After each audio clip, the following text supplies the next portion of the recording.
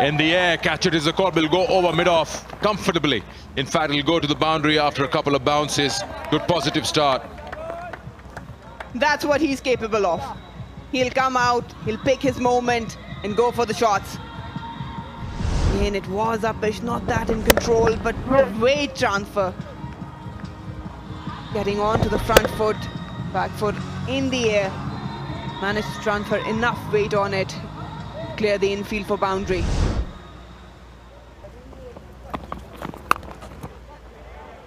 Opens the face. That's smart batting. It'll race away hip in the outskirts and the, the boundary area is quite quick. Ah, grass is nicely shaved off. This had timing. Nothing about power. It's almost like a replay from first game. Again, the length, angling it. Imran probably just pulling back a length ever so slightly and that allowed to pierce that gap. He's a classy player to watch.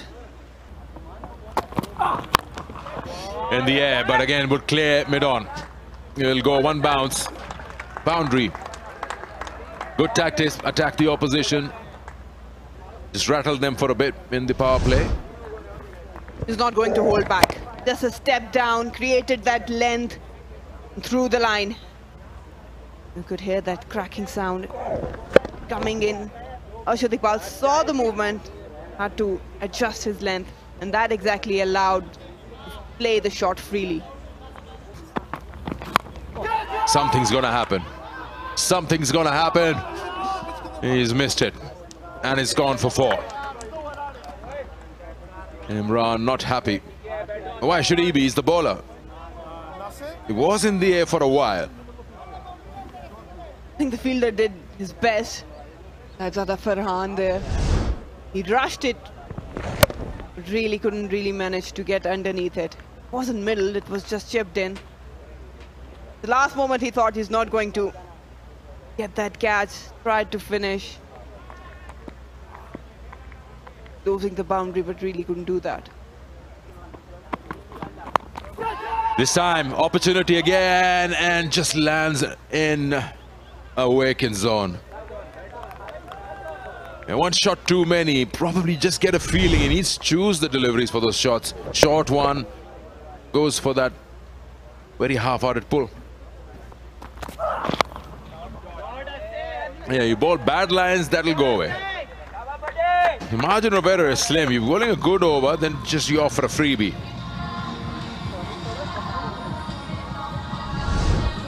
He's got good hands, bad speed. Standing and helping it on its way. With that field, was bound to travel to the boundary. Again, a slower one. Catch it is just over mid-off. And another boundary. Hassan Nawaz looking to finish this off quick. 28 or 14 for him now. Mohammad Imran Jr. Again, the length, that's the issue. It's a free hit for Hassan Nawaz. He'll go after it because there are no fielders. Back of the hand. He had enough wood on it that it traveled to the boundary. Catcher is the call, but again, it just lands. I don't know for a moment, both the fielders were a little confused who's actually going for it. But still, you can't blame the two because it's landed perfectly between the two. Yeah, Mir was back at the boundary. Probably he could have gone for that. वैसे hook किया कोई fielder नहीं है fine leg boundary पर और गेंद आवाज़ से बातें करती हुई निकल गई बाउंड्री के बाहर ज़्यादा करीब से ये टैलेंट देख रहे हैं और ये खराब शॉट खेल बैठे और ये बदकिस्मती है कि चीफ सेलेक्टर की मौजूदगी में ऐसा शॉट खेल दिया यहाँ हसन नवाज़ ने हावी होना चाह रहे थे। खालिद उस्मान पर जो बड़ी नपीतुली बॉलिंग कर रहे हैं और दूसरी कामयाबी उन्होंने हासिल की और नॉर्दर्न की टीम अब मुश्किल में घिर गई है। या रश ऑफ़ ब्लड ज़्यादा ज़रूरत नहीं थी इस तरह के एक्सपेंसिव शॉट खेलने की। Khalid Usman left arm spinner को अगर आप अगेंस्ट स्पिन खेलने जाएँगे और ये बहुत स्मार्ट ऑपरेटर हैं। इतने आराम से आपसे हिट खाएँगे नहीं। अच्छा आगाज़ मिल गया था। उसको सिर्फ़ कंटिन्यू करना था हसन नवाज़ की जानब से।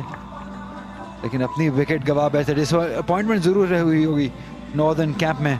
और जैसे आपने कहा, जब चीफ सेलेक्टर मौजूद हों तो आपको उनको इम्प्रेस करने के लिए लंबे रन करने होते हैं।